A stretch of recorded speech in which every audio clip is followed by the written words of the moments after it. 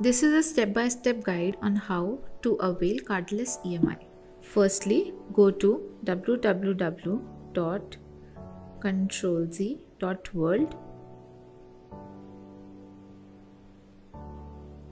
Click on the first link.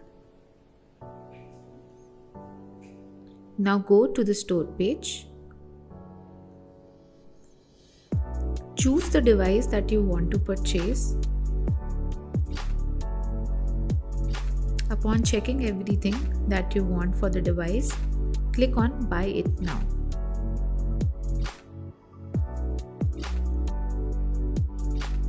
Now, to confirm your identity, type in your number